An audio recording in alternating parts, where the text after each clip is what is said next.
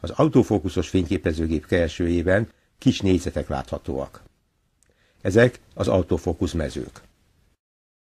Az élesség az aktív autofókusz mezőben lévő képeleme állítódik. Az automatikus élességállítás legtöbb fényképezőgépnél azzal indítható, hogy félig lenyomjuk a kioldó gombot. Egyes fényképezőgépeken más gomb is betöltheti ezt a funkciót. A megfelelő automatikus élességállítás kulcsa az aktív autofókusz mező kiválasztása. Ez lehet automatikus vagy kézi.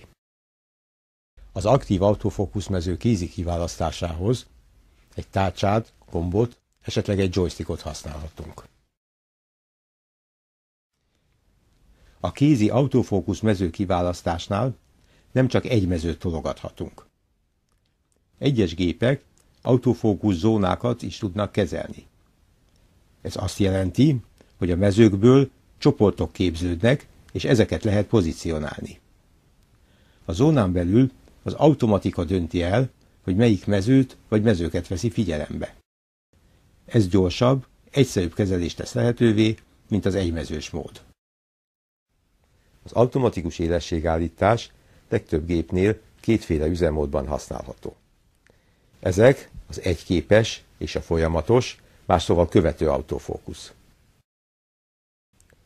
Az egyképes autofókusznál, ha teljesen lenyomjuk a kioldó gombot, a gép addig nem exponál, amíg az élességet be nem állította.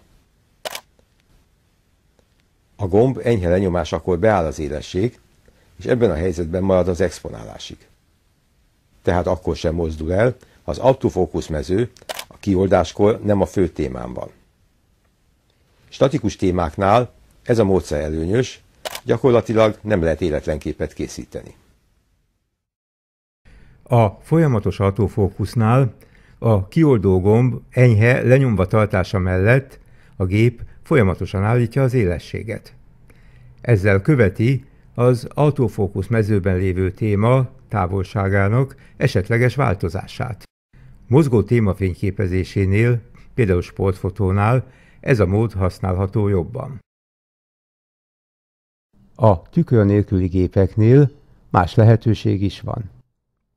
Az érintő képernyő segítségével könnyen lehet pozícionálni az autofókusz mezőt.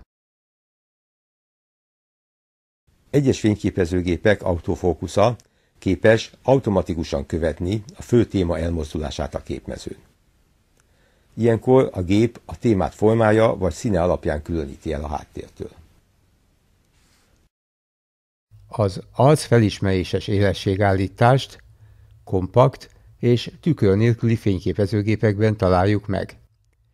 Ez detektálja a témán az arcot, és ehhez állítja az élességet.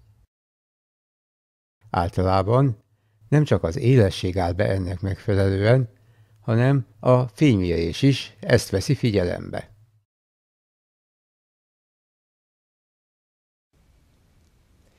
Két olyan jellegzetes szituáció van, amelynél gondunk lehet az automatikus élességállítással.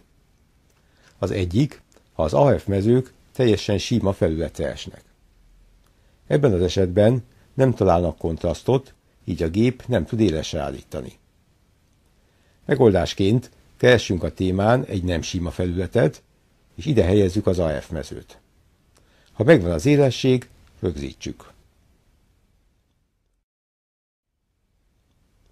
Hasonlókból lehet gond sötétben is. Legtöbb gépben ezért van egy kis fényforrás, az autofókusz segédfény, amely az élességállítás közben világít, ezzel lehetővé téve a műveletet. Figyelembe kell venni azonban, hogy ennek a fénynek a hatótávolsága viszonylag kicsi. Általában csak 4-5 méter. Jobb a helyzet, ha a külső vakon lévő segédfényt használjuk. Ennek nagyobb a hatótávolsága. Az is gondot okozhat, a fényképezőgép és a téma között van valamilyen nem teljesen átlátszó felület. Ilyenkor könnyen ezt veszi figyelembe az automatika. Ilyen szituáció, ha rácson, piszkos vagy nedves üvegen keresztül fotózunk. Ebben az esetben legjobb kézélességállítást használni.